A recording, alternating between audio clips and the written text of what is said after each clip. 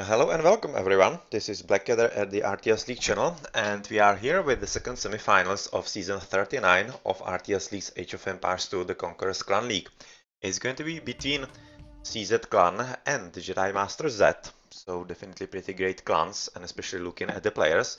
Looking at CZs of course, they have won the RTS League in like 4 seasons out of last 5. Just have been interrupted by LOS and I'm today going to be joined by Genette who is going to be helping me cast the game and I welcome him in the channel. Hello, thank you, Blackadder. It's gonna be a good game here, two very strong teams, I guess. Yeah, that should exactly be what you will be seeing in here. So I'm just gonna finish sending broadcast so that everybody is well aware what's happening in this early game. And well, unfortunately, my Age of Empires crashed, so I'm gonna have to rejoin somehow. Well, I can uh, tell the viewers what's going on at the moment. Um, so the first map is Decentring, which is um, an uncommon map, I should say, and well, you start with um, your villagers in a nomad style, no town center, on a tiny, tiny island, and well, you have to chop some wood to collect the 275 for a town center. Use the transport ship to get to the outside, you know, that's why it's called decentering. You have to get out of the center. And yeah, then it's uh, gonna be about water and land at the same time. Alright, so I have finally been able to get my game going, so I'm just going to turn off all the overlays and such so that we see the game itself. And well, yeah, right now we are in the game and looking at the civilizations in this 2v2, which is unusual for RTS League, we usually have 3v3 or for V4, but the players were having kind of problems getting on some kind of common time, but we are glad that they are on. And looking at the civilizations as I have started with it, we are having Chinese Mayans for the Jedi Z and Chinese Vikings for CZ. So, Genette, what do you actually think is the better combination for this kind of map?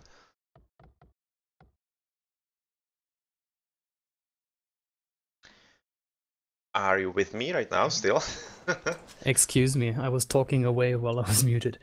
Uh, I said I, I'm I'm not a real expert on this map, but I think to have um, Vikings on the team is really really helpful because water is so important. You have tons of fish on this map.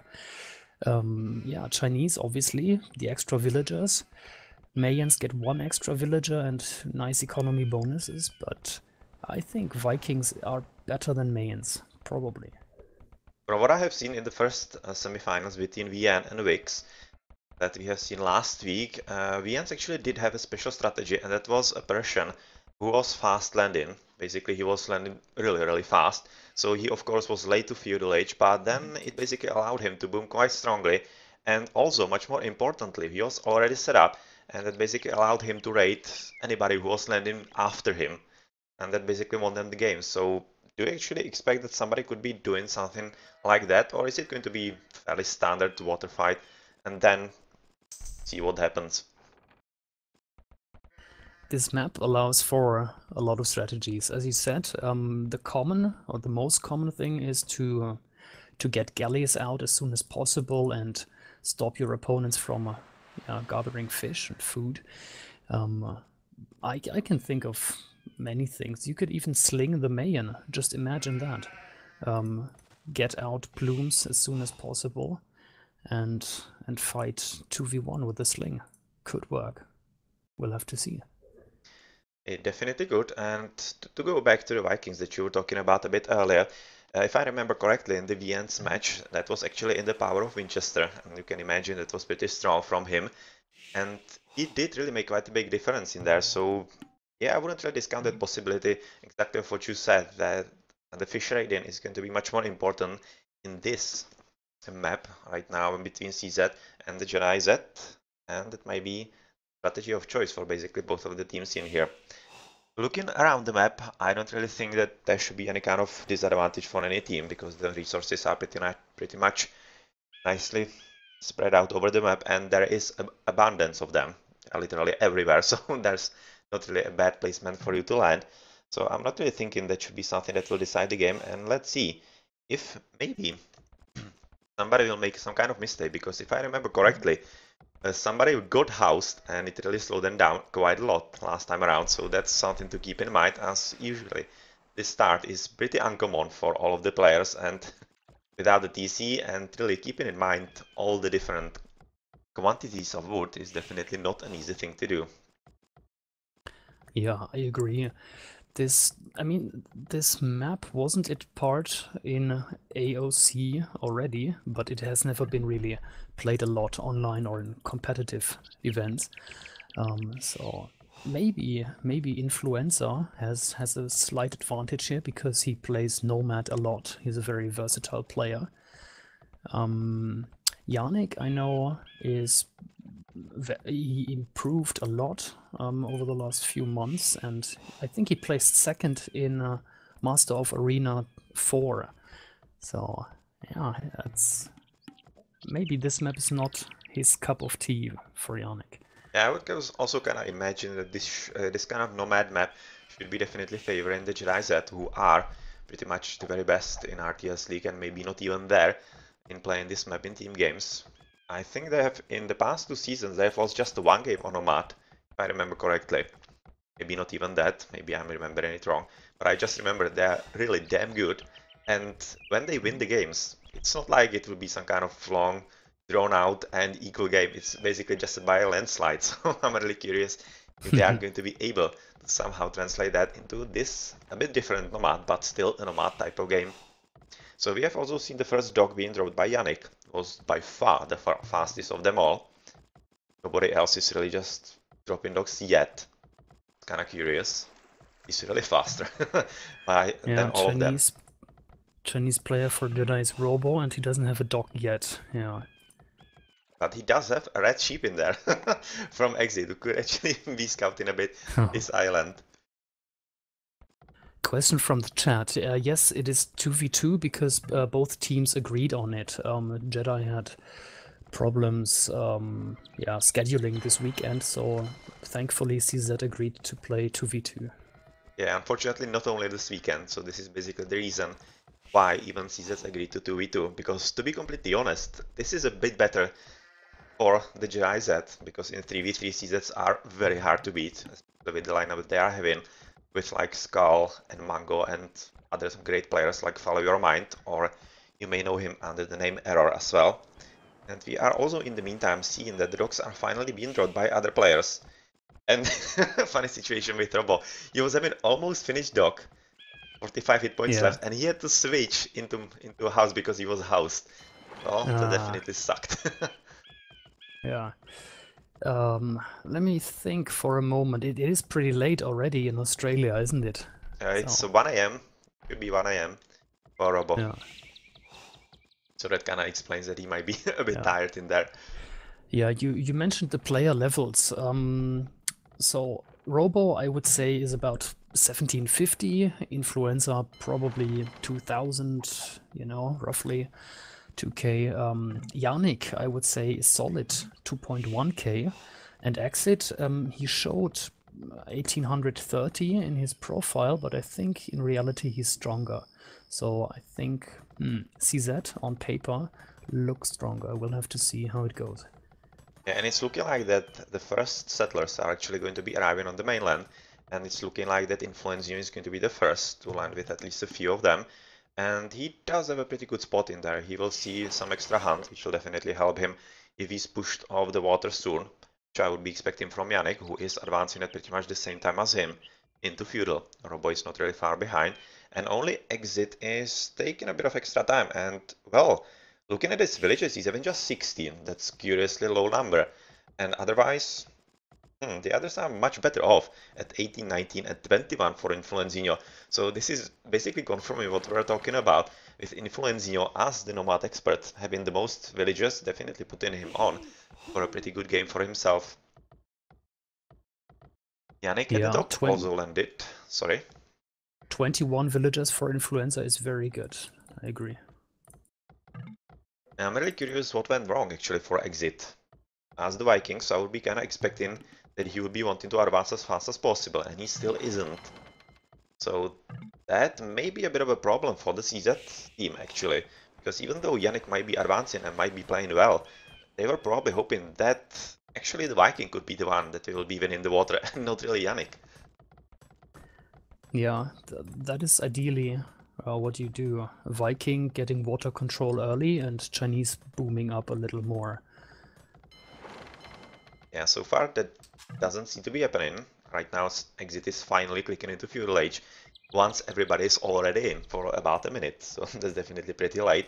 let's see if Janik can actually hold on long enough for him to come back into the game, or if it's going to be already decided by the time, which could definitely happen, because we have seen that Roboboro and Influenzino are both having two dogs, as a third is already coming up guess, against three of Yannick. It's not really going to be all that easy for them, but still, they should be having the advantage of numbers, so let's see if they are going to be able to take the advantage and to win the water overall. Also landing for exit, so he's maybe even ignoring the water. He's going for second dog now, so not really completely ignoring it, but looking mm -hmm. like that he's actually aim aiming for land, exactly as Robo. So basically all four all four players on. Quickly jumping to exit, um, he's up uh, by 75%. Ah, ha, ha, ha, ha pretty late. Sending more and more villagers. Yeah, and really the, the number of villages that he's actually behind is right now at about 4 or 5. That's basically a quarter or mm. fifth of all the villages are you, that the top players are. Just uh, quickly, um, are you looking at the red dogs, the galley wars yeah, yeah. started? yeah. Pretty tough. Just 200 hit points remaining. He was unfortunately stopped and that's exactly what is pretty dangerous the, about this map and why water is important and not really to be somehow forgotten because if you lose the water you basically have everything in range of the galleys on the little island so we are potentially going to be losing a lot of resources that are in there like the stone and the gold. Is definitely not something that either of the teams would be wanting to have on their plate. Yeah, that's mm. potentially a pretty big problem. I mean, the the scores show it clearly right now. Exit is behind everyone else.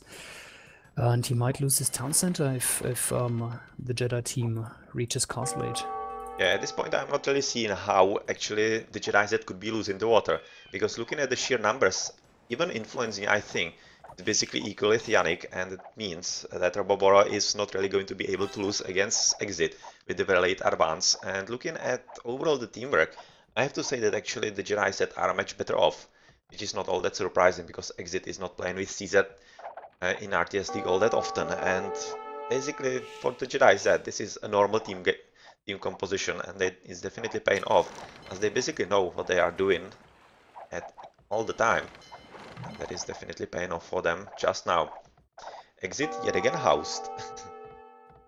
mm, right, 35 population. yeah, and he's of course going to be losing all the water economy as he's being raided by Robo quite nicely and that means that his uh, how many fishing boats four are not really going to be all that useful for him and he's really just all the faster falling behind in the economy. And that's probably going to be something that will be quite deciding to this game overall. And well it's going to be right now I think all about how fast actually Janik can move on the land because I'm not exactly thinking that exit will be all that strong force on either land on the water.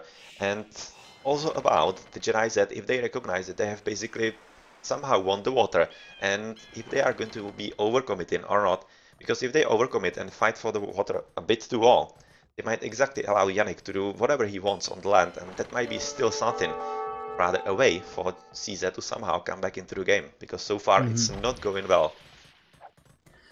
I'm just looking at um, the statistics in Spectator Overlay. Um, Janik and Influenza are pretty similar, both in food and wood collected in total. Um, but Robo has collected um, 800 more wood than uh, Exit and 500 more food. So yeah, the Chinese players are about the same right now. And Robo with Mayans is far ahead of Exit right now. Yeah, there's a bit of fighting at the top between Robo and Exit, so Exit seems to be making a, at least a slight comeback on the water, not really wanting to give up on it at all, but there are going to be a bit more reinforcements coming for Robo from the top, so not really any kind of significant advantage in numbers. Whereas on the left, well, Janik seems to be basically holding his own and maybe even slightly inching into advantage in numbers against Influenzio. Mm, Influenzio just, now, just just hit the lumber yeah, camp from that was uh, pretty nice from him. Also, Exit should not give up on the water. He's the only Viking player in this game. So, yeah, he needs to win the water to play out the advantage. Most definitely, and ah, there's a pretty big fight right now between Robo being caught in a pretty bad moment by Janik, so that's definitely going to help CZ to make some kind of bit of a comeback on the water. And I'm also thinking, even though Influenzio is having fourth dogs, four dogs, and basically as Janik, he seems to be much more interested in raiding around and trying to kill, I don't know, some kind of remaining fishing boats, maybe even some villages on the shorelines in there, than engaging fully with the armies. And that's, I'm not exactly sure if that's actually the correct decision, because I'm thinking it, it's letting CZ basically recuperate from later advance of exit and such. And right now, oh well, that's a tough battle for Influenzio to take left. Yes, full 2v1. He needs to preserve his navy right now, somehow. Just get out of there. Yeah, Janik is doing a pretty good job trying to get below him, and oh well, there are some villages loaded in the transport ship in there. Yeah. Okay, he moves. Five of them actually. I finally noticed. actually, he doesn't want to lose them. Yeah. But this is so Um, far question- late. Yeah. From the chat, what's the name of this map? And I have to correct myself, I said something uh, wrong earlier. Um, this map is called um, NC Decentring version 1, and I said it was part of uh, standard AOC. It wasn't. In standard AOC, there was a map called Pilgrims, which is very similar. So, yeah, I hope that makes it clear. Alright, that clears things up as Robo is joining into the fight as well. And right now it might be turning into a bit of a problem with 4CZs because they somehow lost the numbers. I'm not exactly sure how that happened because the fight was still going quite nicely on the left. But they probably let themselves be caught off guard by Robo on the right side. So right now the numbers are still pretty much equal. So the fight is on, which is definitely nice to see as it's meaning that we are going to be seeing a whole lot more game in here. And I'm kind of thinking that we are at 25 minutes and we should be slowly seeing uh, if somebody is going to advance into Castle Age because Mhm. I've already see Blacksmith being dropped by Janik. So he should be having enough buildings to actually advance into the I'm gonna next age. toggle um, through the players. Let me see. The food counts are all really low. Um, yeah. 200 food for Robo, and the others are below that even. Yeah, so- basically at zero. Only Robo seems to be aiming for that, so that may be his plan at about now, because he's also having quite a lot of gold in there hidden. So he's maybe hoping that he could be jumping into the castle, and then with the war galleys, that would definitely be helping quite a lot. And he's gathering a whole lot of gold actually. They win a lot of release on it. Kinda as opposed to the other players, which is curious to be honest. So he Yeah, might be really thinking about advancing faster into the castle age than the others. And then well, not exactly sure. Maybe just drop a castle right off the bat somewhere and go for the offensive with the plumed archers. Yeah, Robo is heavy on stone. That is five Also. villagers there. Yeah. Yeah. And uh, Flu, Influenza in the north, is um, Oh. tower rushing. yeah, well, that's a bit of a problem uh, for Janik because he was already quite curiously placing the lumber camp in there, as we have seen a bit earlier the raiding on him. So that's definitely why you don't want to place the lumber camp so close to the water. So obviously the water is not really all that easily won. And On the other hand, Influenza lost um, three villagers on his starting island to uh, red galleys. Oh, yeah, that was pretty nice raiding. Few skeletons in there, strewn about, and he might be losing a whole lot more, because you can see they are basically closing in CZs, like piranhas, because they are exactly expecting that the gold is going to run out pretty soon. And there's a whole lot of villages, and if they can actually pre prevent any kind of transport of those, they would be basically killing Influenzino's economy. So let's see about that, if they are able to somehow control that, because that's definitely something that Janik is right now aiming for. Since Influenzino is coming back home, he'll be hoping that he can somehow protect himself and transport a bit more villagers on the mainland than he's User already having. channel timed out. Ah, It's almost as if Genette actually time out, time out of the room on TeamSpeak. I'm gonna check. Yeah, so he's gonna join in just a moment. So I'm going to continue other speaking alone. And let's move back to the top where a lot of towers are actually coming up. As Janik is having a bit of fun with Influenzino. And Influenzino has already dropped four towers. It's quite a big number, but now he's going to be dropping fifth. In pretty dangerous position. He's having nine already. Nine into range, which is one, two, three, four, five, six, seven, eight, nine. That's definitely on this whole shoreline, or rather line of the wood. So he's already forcing Janik to move a bit through north rather to the south. But with the tower already being in place, I don't really think it's going to be all that much of a problem for him. Because he has been able to nicely trap those two villages. And yeah, Influenzino doesn't have anything extra in there. Channel. So that's, of course, not going to work for him for much longer. Even though he's arriving in the battle scene with more boats, as Yannick is arriving as well. So Genette, you should be with us, with us yet again. Hello, sorry for the drop. Don't know what happened there. Yeah, and it's exactly as GGs are happening. and CZs are actually resigning. As they have probably lost, I don't know, I don't know, they have lost the water or something. Yeah, pretty much. The numbers are not really great for Janik, who would be losing basically whole army to Influenzino at the top. Whereas on the right, the Viking is, well, have some kind of guess. He's probably not having uh, lower numbers, but they are probably resigning because of the castle age. I agree, yeah. Uh, because against the war galleys there will be absolutely no defense, and it's looking like that Janik and neither exit would be actually advancing anytime soon. Yeah, looking at the resources, that's exactly the reason why they are resigning. So, interesting ending. Kinda sudden, to be honest, after a bit of fun in here with the towers, but well, it, to be honest, it looked that it looked that way going for the Jedi Masters from the very start. Influenzino's pretty strong play. Yeah, we're using the team chat in the game room. Team Jedi is obviously very happy to take game number one here. Uh, maybe we should tell our viewers. Um, I am definitely not not very impartial here. I'm in Jedi clan as well.